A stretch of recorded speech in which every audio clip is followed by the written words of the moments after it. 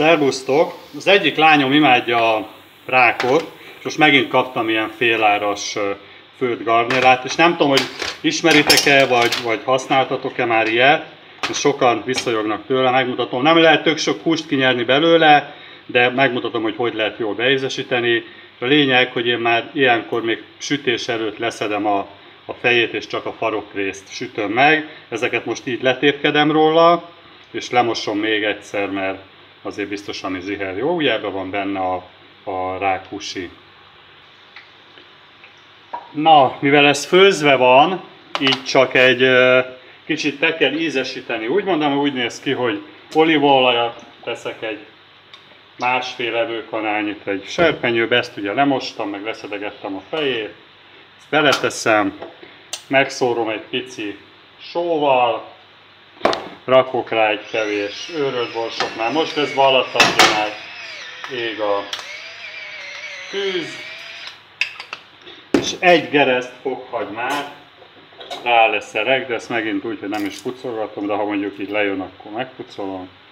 Mert amúgy a reszelőn kívül marad a héja, azt már többször megmutattam videókban, és ezt most ráreszelem, és az egészet egy kicsit átpirítom, és egy ilyen fokhagymás, olivás, vagy vajon lehet még, annak is nagyon jó íze van, ízű rákot fogok kapni, és majd még egy kis petrezselymet fogok rátenni.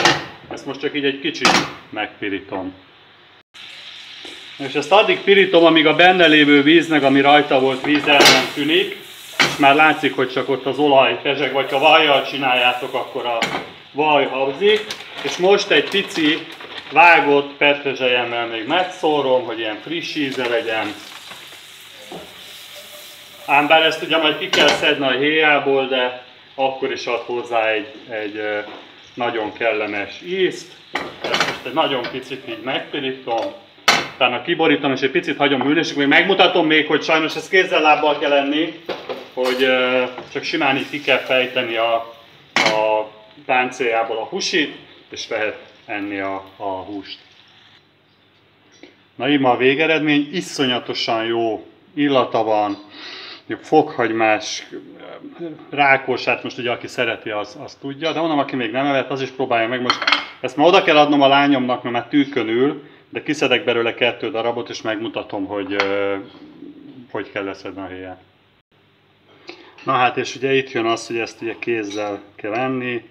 Ezt itt a vastag hús részéről, tehát alul, ahol vannak ezek a kis lábacskái, itt szépen le kell fejteni. A, tehát ez egy jó játék egyébként, mondjuk ha ilyen beszélgetős buli van, majd elmúlik a, a korona időszak, akkor ez tök jó, hogy megsütötök ebből egy ilyen tálat, azt neki lehet ülni és lehet enni, és akkor itt szépen hú, meg közben így ül, állandóan nem tudok beszélni, mert tele megy nyállal a szám, mert én, én nagyon szeretem ezt. És íme így néz ki, benne van egy ilyen kis rózsaszín, egy, egy tök jó kis puha rákhusi, mm, Isten Én nagyon szeretem. Ennyi, hogy ezt a kemény páncélt így le kell szedegetni, jó? Nem mutatom be még egyszer, mert jobban nem tudom. Így kell fogyasztani.